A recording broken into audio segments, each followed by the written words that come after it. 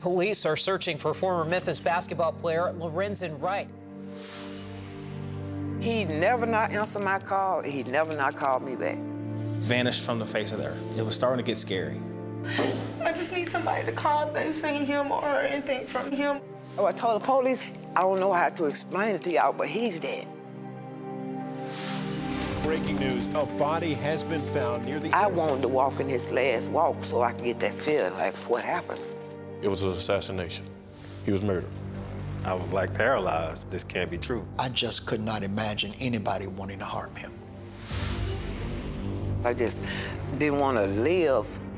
Justice will be done. That's our pledge. I wanted to be able to tell his mom that we got the person that's responsible for this.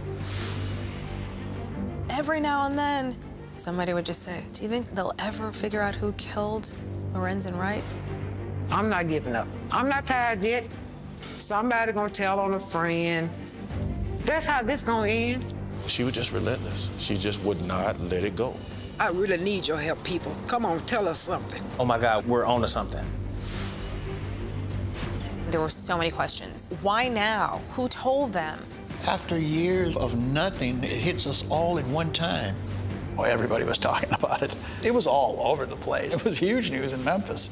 Attempted murder, conspiracy to murder, and first degree murder.